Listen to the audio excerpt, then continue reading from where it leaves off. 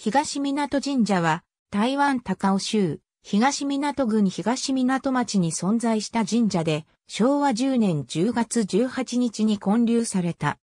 戦後は、東港鎮海浜小学校の校庭となり、本殿は孔子廟に改められた。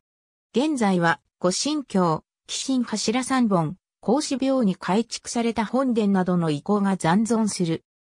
祭神は、天照公大神、大国主命、大名鞭の命、少なびこなの命、北白川宮義久親王、東港神社は、昭和天皇による国民精神作行に関する証書の間発より、昭和9年で10周年となることを記念して、建立された神社で、昭和8年12月に、東港郡役所が神社の建立を決めた。昭和10年6月に地鎮祭が行われ、同年8月24日建立された。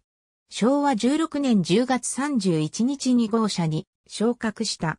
太平洋戦争終結後、当初は軍営が置かれ、後に海浜国民学校となった。